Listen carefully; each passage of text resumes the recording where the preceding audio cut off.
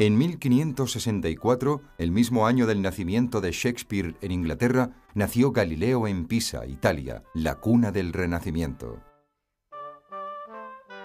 Pero Galileo estaba predestinado a una vida de problemas. Su padre era tan contestatario como lo iba a ser Galileo. La mentalidad abierta y la vasta educación que el joven Galileo recibió en los campos de la música, la literatura, el arte y la ciencia hicieron que nunca lograra controlar su lengua y que tuviese que sufrir en silencio. Apenas existen datos sobre su niñez, pero la fascinación que tempranamente mostró por la física revela que siempre poseyó una mente inquisitiva y abierta. Fue esta actitud lo que más tarde le llevaría al triunfo y a la catástrofe. Bajo la atenta mirada de su padre Vincenzo, Galileo aprendió a pintar, a tocar el laúd y a escribir poesía.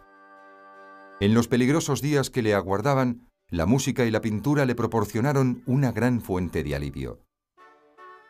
El joven Galileo no fue formalmente a la escuela hasta 1574, año en que su familia se trasladó a Florencia. En la Facultad de Medicina de la Universidad de Pisa fue en donde dio las primeras muestras de descontento y de oposición a la autoridad que marcarían su ascenso y su caída. Allí se ganó el apodo de El Disputas, debido a su tempestuoso carácter. Fue en Pisa donde se enfrentó por primera vez a las teorías del filósofo griego Aristóteles, que le perseguirían sin cesar. Su lucha por cortar las ramas secas de la teoría aristotélica, incuestionada durante siglos tanto por la Iglesia como por el Estado, provocaría su destrucción. Desde ese momento, la sombra de Aristóteles marcaría su vida. Galileo jamás aceptó ninguna afirmación basada en las apariencias. Pretendía que todo fuese demostrado por medio de la experimentación. Esto constituía una nueva y revolucionaria actitud. Durante sus estudios universitarios se reveló el temperamento que caracterizaría al joven agitador durante el resto de su vida. Despreciaba el sometimiento ciego a la autoridad y vio que los estudios médicos estaban llenos de una absurda obediencia. Como resultado de ello, dejó la universidad en 1585 sin graduarse.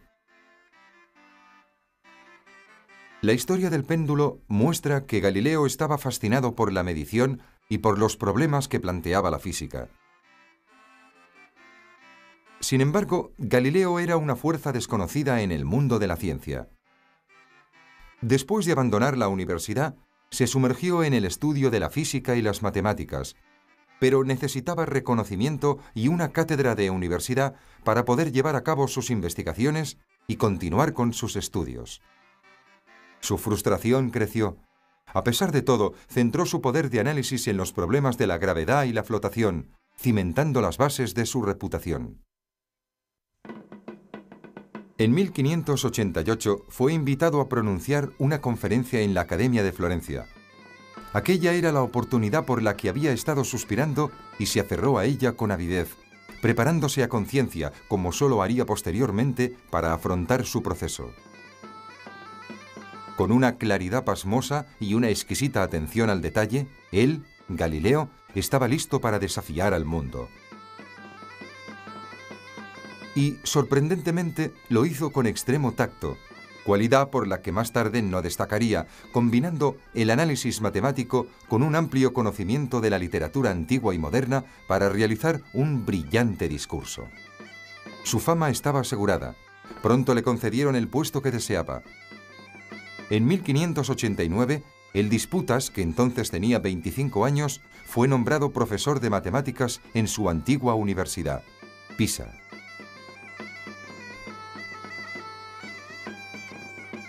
Allí iba a hacer honor a su apodo. Desde su nuevo estatus recién adquirido, arrasaría el pensamiento de miras estrechas y aplastaría el peso muerto de la autoridad ignorante. Su ataque comenzó de inmediato. La aproximación a la ciencia de Galileo era innovadora y revolucionaria. En una época de supersticiones, estaba decidido a hacer tabla rasa empleando las matemáticas para resolver los problemas de la física y el análisis geométrico y numérico para explicar el funcionamiento del mundo, puso los cimientos de la investigación moderna. Sin embargo, en esta aproximación estaba la semilla de su ruina, ya que en su tratado, de motu, en movimiento, escrito en esta época, se mostraba abierto a la idea de que la Tierra rota sobre su propio eje. De ahí a aceptar y defender la teoría formulada por primera vez por el astrónomo polaco Nicolás Copérnico, fallecido unos 45 años antes, solo había un paso. Copérnico había afirmado que la Tierra se movía a lo largo de una órbita alrededor del Sol y que no era el centro del universo. Es la doctrina heliocéntrica. La teoría de Aristóteles, que sostenía exactamente lo contrario, estaba en la línea de las enseñanzas de la Iglesia. Desafiarla significaba enfrentarse a la acusación de herejía y arriesgarse a la horrible muerte que dicha falta traía consigo. Era el desafío a esta teoría lo que hizo derrumbarse el edificio que Galileo había construido. La ciudad de Padua parecía ofrecer a Galileo todo lo que podía desear famosa por su libertad e independencia de pensamiento, daba la impresión de ser el lugar ideal para un nuevo comienzo y para la continuación de su trabajo. Su éxito material y su reputación profesional crecieron al mismo tiempo. Allí, Galileo inició un periodo de intenso y fructífero trabajo, estudiando, enseñando en privado e investigando. Todavía le quedaron energías para crear un taller donde producir instrumentos científicos y además proyectar y construir personalmente aparatos para sus investigaciones. A pesar de su actividad febril, o tal vez a causa de ella, Galileo tomó una esposa, la encantadora Marina Gamba, con quien vivió 10 años y tuvo tres hijos, dos niñas y un niño. La niña más pequeña, Virginia, era dulce y sensible y durante su vida, transcurrida en un convento como la hermana María Celeste, mantuvo una larga correspondencia con su padre. Galileo daba gran importancia a esta relación, ya que le aportó sosiego en algunos de los periodos más solitarios y desagradables de su vida. Cuando Galileo abandonó Padua, también se separó de Marina, aunque de un modo amistoso. Pero Galileo no era persona inclinada a seguir el camino más fácil. Si no había ninguna razón para trabajar incansablemente, encontraba una. Entonces quiso regresar a Florencia. Además, estaba cansado de la rutina de la docencia. En 1609 llegó a Italia un objeto que iba a cambiar la vida de Galileo drástica y completamente. Un objeto que atrajo hacia él la ira de la Inquisición y casi le costó la vida. El anteojo.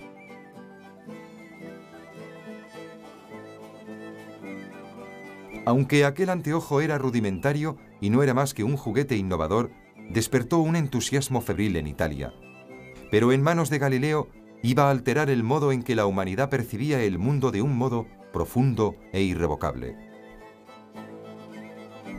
Tan pronto como pudo, Galileo obtuvo una descripción del instrumento y aquella misma noche se dedicó a la construcción del primer telescopio. La oportunidad de dar su siguiente paso hacia adelante no iba a tardar en presentarse. Cuando el Senado estaba considerando si comprar o no uno de esos nuevos instrumentos, Galileo se ofreció de inmediato para construir uno mejor. Para su regocijo, el Senado aceptó esperar a ver lo que era capaz de hacer. Galileo se puso a trabajar de inmediato, utilizando las mejores lentes venecianas, probando y rechazando modelos una y otra vez, luchando con los problemas de distorsión y aumento, hasta que a finales de agosto consiguió terminar un telescopio que sin duda iba a ensalzar su reputación, pues aumentaba en nueve veces la visión de cualquier objeto. Cuando lo presentó ante el Senado, el éxito fue instantáneo. Eso le reportó la cátedra vitalicia de matemáticas en la Universidad de Padua, además de un salario de mil florines anuales. Eso era solo el principio. Galileo transformó completamente su taller para orientarlo a la producción de telescopios, en un intento de conseguir una magnificación de las imágenes aún mayor. Pasó poco tiempo antes de que lo lograra y consiguió construir un telescopio de 30 aumentos. Fue este telescopio el que dirigió emocionado hacia los astros. Lo que vio Galileo a través de su telescopio le dejó anonadado. Los cielos abrieron las puertas de sus secretos y maravillas. Con cada nuevo descubrimiento, las pruebas de que la Tierra se movía eran cada vez más evidentes. Pero las propias vistas eran impresionantes para un observador del siglo XVII. En su pequeño libro Sidereus Nuncius, El mensajero de las estrellas, Galileo escribió, es una visión de lo más hermosa y agradable contemplar el cuerpo de la luna unas 30 veces más grande. Uno puede saber, con la certeza que nos proporcionan nuestros sentidos, que la luna ciertamente no posee una superficie lisa y pulida. Al contrario, es rugosa y desigual, como la propia superficie de la Tierra. Está llena de grandes protuberancias, abismos profundos, suaves colinas y profundos valles.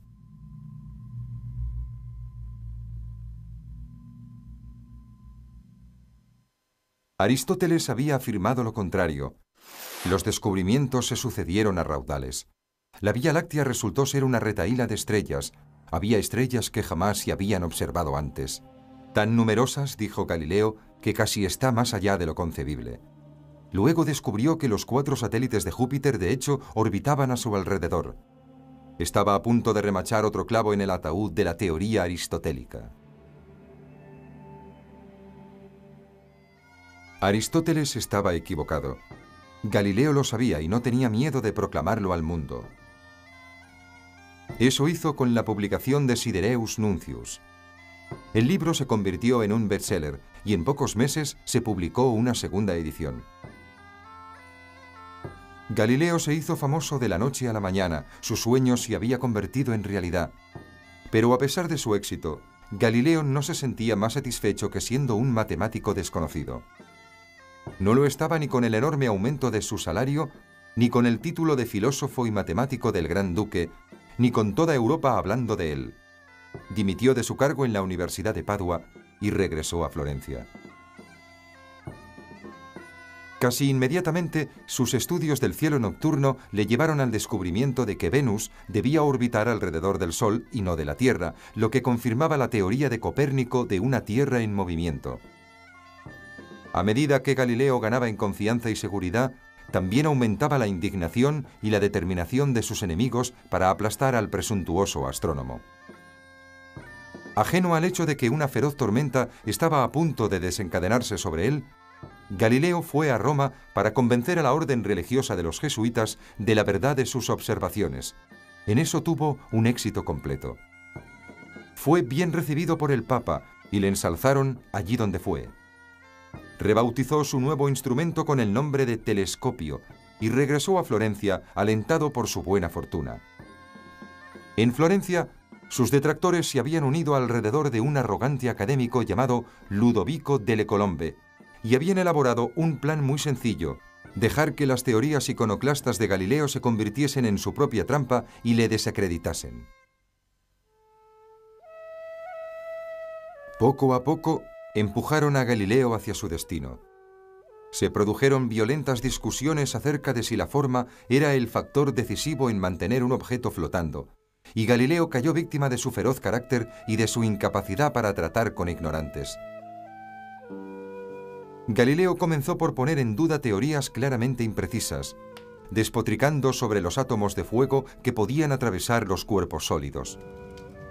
Muchos esperaban que el espíritu mordaz de Galileo le conduciría al fracaso.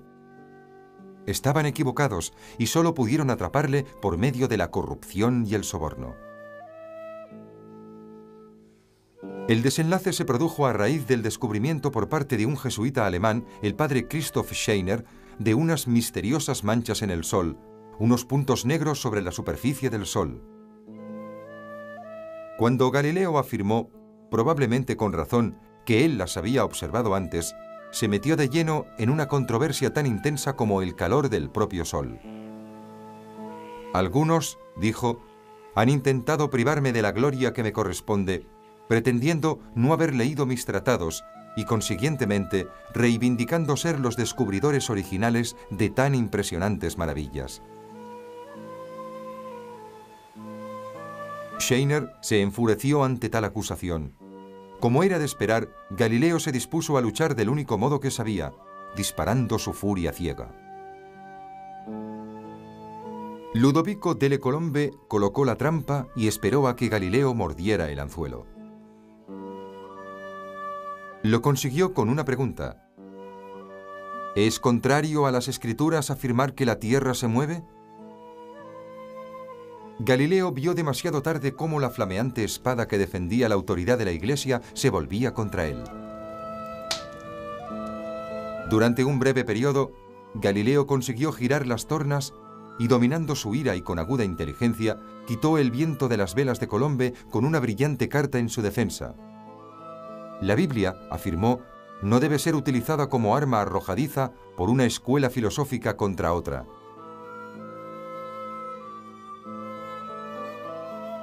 En diciembre de 1614, los oscuros nubarrones se cernieron sobre Galileo con una intensidad que ni siquiera sus satisfechos enemigos hubieran podido prever.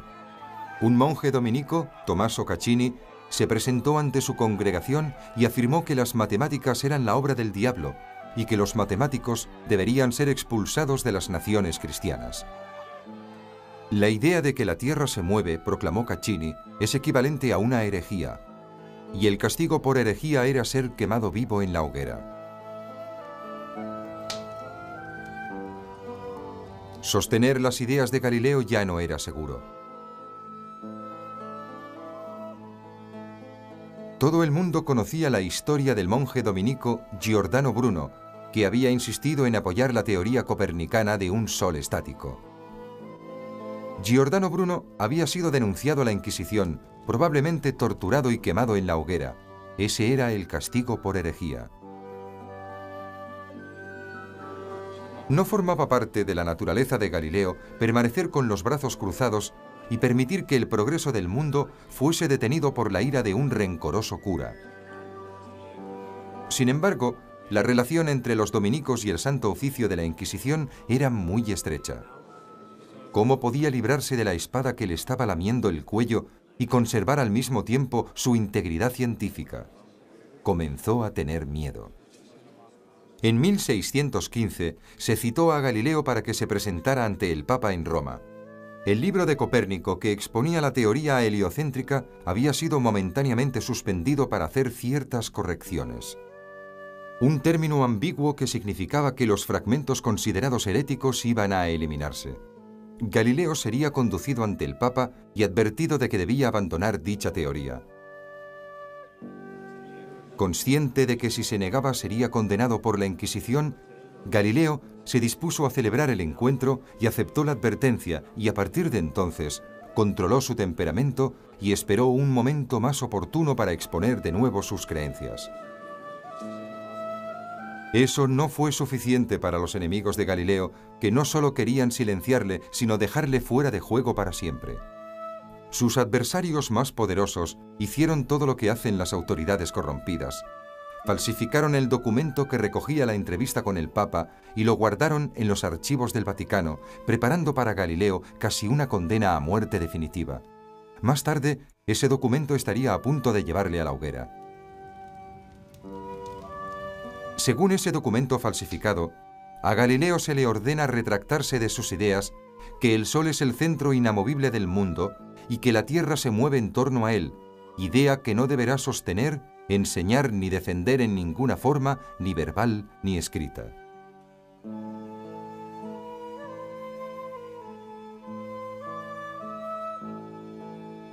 Sin embargo, en lo que respecta a Galileo, la copa envenenada había pasado y volvió de nuevo a sus experimentos científicos.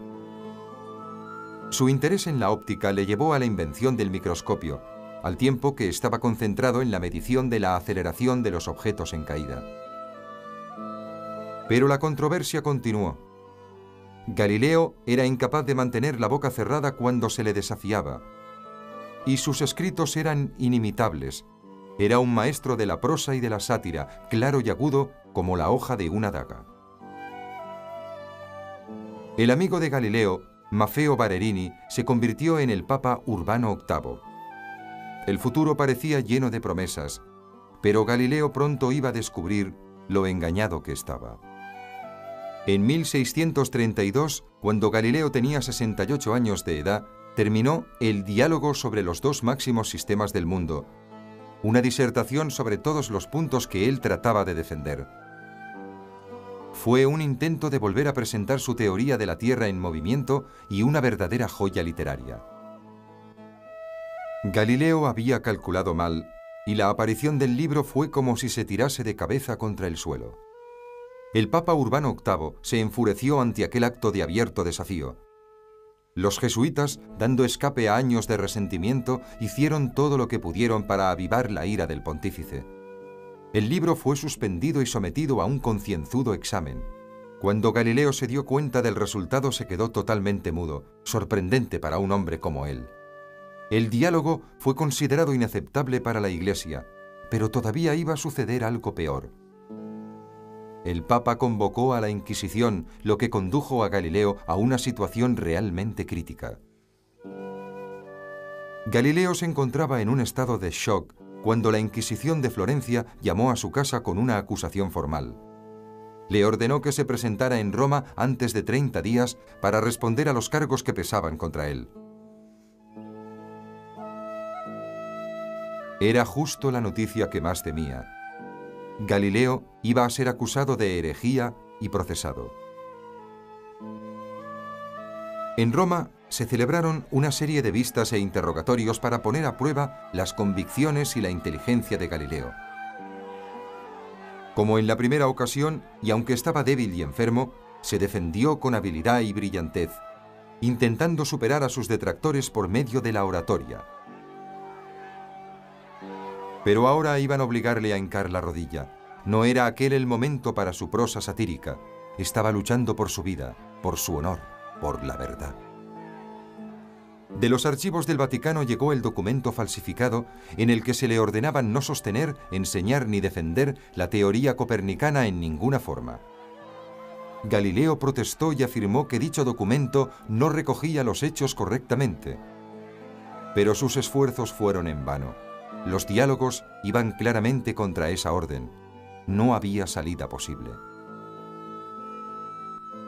La Inquisición no se andaba con sutilezas. Sabía cómo hacer confesar a la gente. Buscaba un punto débil en el acusado, a menos que éste admitiese su culpabilidad. Sus amigos suplicaron a Galileo que se declarara culpable. Tragarse el orgullo y la vanidad, admitir haber olvidado que había sido advertido y abandonar la teoría de que la Tierra se movía para seguir vivo. Su vida estaba en sus propias manos. ¿Cuál iba a ser su decisión? No había posibilidad alguna de defender su postura. Para Galileo, la decisión era clara. ¿Valía la pena morir por la verdad? ¿Debía soportar la cárcel, la tortura y ser quemado en la hoguera por sus creencias científicas? ¿Debía sacrificarse por los principios que sabía que eran ciertos? En última instancia, ¿poseía el coraje para afrontar el martirio en aras de la ciencia? Con las llamas bailando en su mente y los gritos de otros herejes resonándole en la mente, Galileo compareció de nuevo ante el comisario general de la Inquisición y sus ayudantes. El orgulloso y arrogante indagador de la verdad iba a ser obligado a confesar su pecado. Su humillación fue completa. Mi error ha sido, lo confieso, la vanidad, la ambición de gloria, la pura ignorancia y el descuido. Y me confirmo en mi aseveración. No he sostenido ni sostengo como verdadera la opinión que ha sido condenada del movimiento de la Tierra y la inmovilidad del Sol. Si me concedieran como yo deseo los medios y el tiempo para presentar una clara demostración de ello, estoy listo para hacerla. Habiendo confesado, Galileo esperaba una sentencia clemente, pero su antiguo amigo, el Papa, quería venganza. Su deseo era destruir a Galileo. La sentencia fue severa. Postrado de rodillas, un hombre anciano y enfermo esperaba temblando de miedo bajo la larga túnica. Su sentencia de prisión se confirmó, al igual que la prohibición de su libro. Pero solo más tarde llegó la parte más dura para el orgulloso genio. Yo, Galileo, hijo del finado Vincenzo Galilei, florentino, de 70 años de edad, he sido declarado por el Santo Oficio culpable de ser sospechoso de reiterada y vehemente herejía. Eso es como decir que he sostenido y creído que el Sol era el centro inamovible del universo, y que la Tierra no era el centro y se mueve. Con sincero corazón y una fe ciega, abjuro, maldigo y aborrezco de los errores y herejías anteriormente mencionados.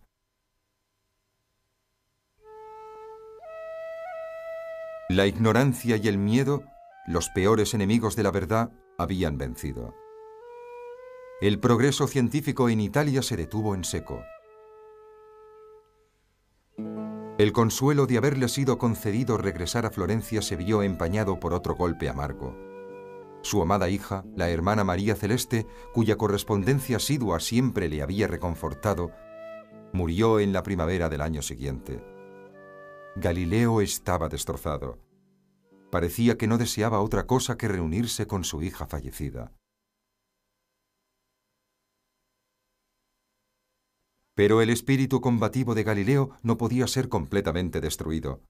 Poco tiempo después, un forastero escribió que Galileo y sus amigos, en particular un hombre llamado Piccolomini, estaban esparciendo papeles por el suelo con tanto entusiasmo que uno no podía más que mostrar admiración. A los 74 años, publicó los discursos y demostración matemática en torno a dos nuevas ciencias relacionadas con la mecánica. Lejos de estar acabado, de nuevo se lanzaba a la guerra contra Aristóteles, como haría un niño castigado injustamente. Era otra obra brillante en la que abordaba algunos de sus argumentos preferidos, el movimiento, la aceleración, la mecánica y la filosofía de la ciencia. Su frase, cualquier fuerza imprimida a un objeto hará que dicho objeto mantenga un movimiento uniforme, permanece como uno de los pilares fundamentales de la física, demostrando lo avanzado que era el pensamiento de Galileo.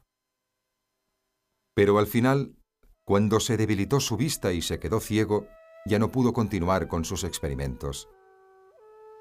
Tras vivir lo suficiente para concluir la construcción de su calculador de satélites, con el que pretendía marcar las posiciones pasadas y futuras de los planetas, la brillante luz de su penetrante y abrasivo genio comenzó a vacilar para luego extinguirse.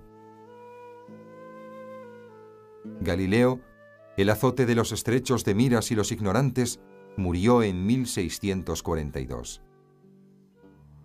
La importancia de su trabajo los principios que estableció en matemáticas y en física y que hoy afectan nuestras vidas son reconocidos ahora, casi 400 años después, por la Agencia Espacial Norteamericana, la NASA, mientras la sonda Galileo abre aún más las fronteras del conocimiento científico, tal como hizo él en su tiempo.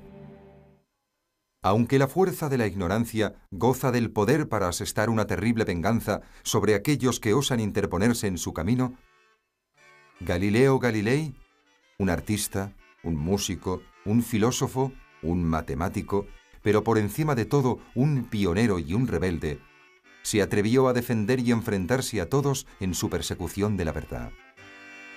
Todos nosotros tenemos con él una deuda inextinguible.